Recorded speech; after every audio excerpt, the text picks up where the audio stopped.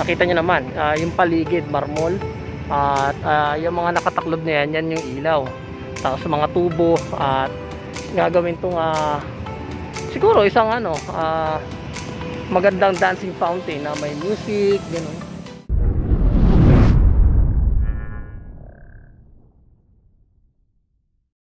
So yun na, good morning guys. At eto andito na tayo sa Anda Circle So ito ay palabas ng Maynila papuntang Taft Avenue papuntang ah, ah, Ross Boulevard at ito naman kabila ay papunta ng Intramuros at papunta ng Arte no Mel Lopez so ayan yung Anda Circle so may balot pa to at hindi pa masyadong pinakikita sa publiko gawa ng Ah, surprise! Alam niyo naman si Mayor.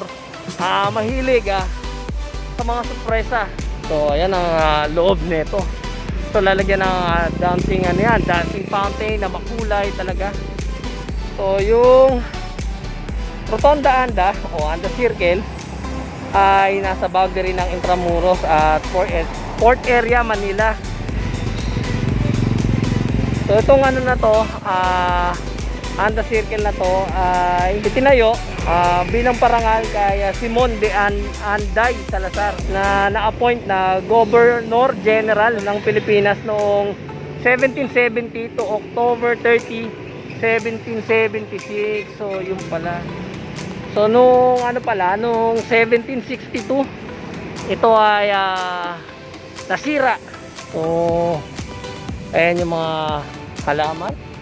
Ah, dito kahit araw ng linggo ay ah, may naggagawa. So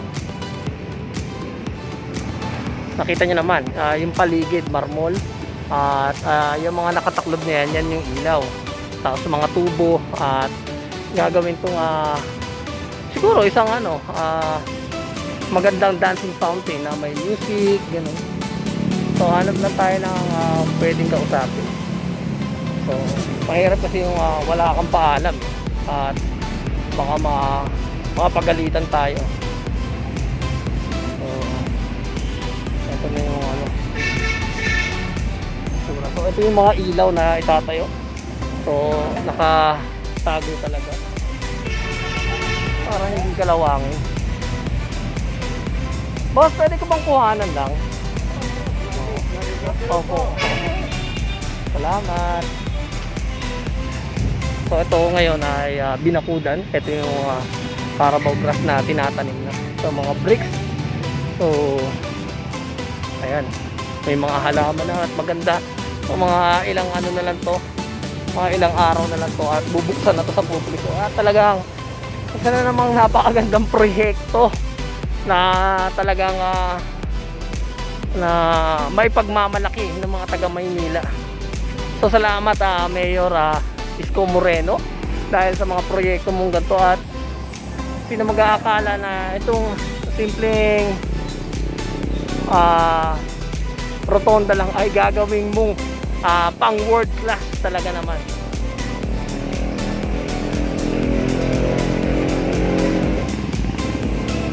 So sana sa mga kababayan natin ah, pag naitayo na to pangalagaan natin ah, itong ah, lugar na to dahil ah, magandang pamana to para sa ano sa mga batang Maynila. Hindi lang sa mga batang Maynila.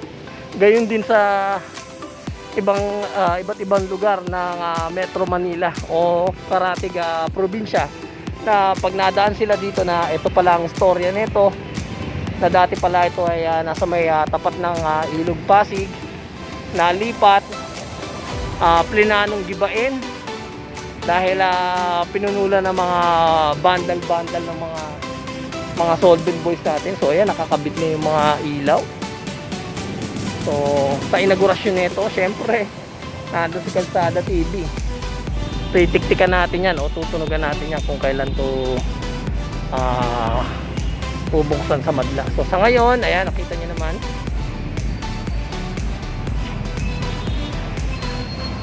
Na ayan na yung paghahanda.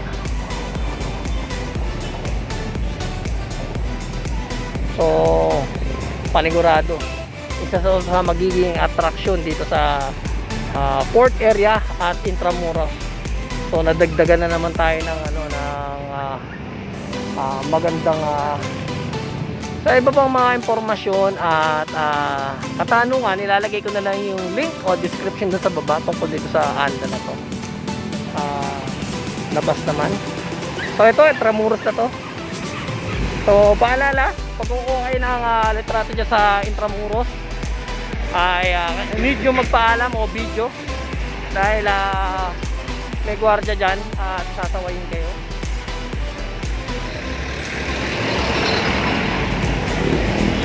So isa sa mga magandang attraction din niya Intramuros, pasyalan niyo.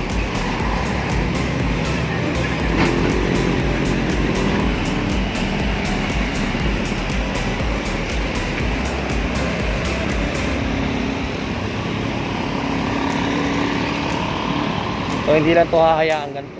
At may plano. Panigurado.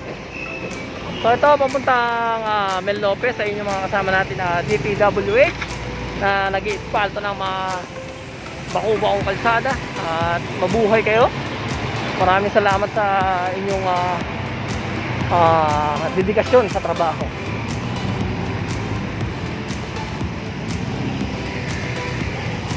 So papuntang uh, Mel Lopez Boulevard o R10. At ito yung uh, port area, yung kabila, Intramuros. So ito, mga taga city engineering,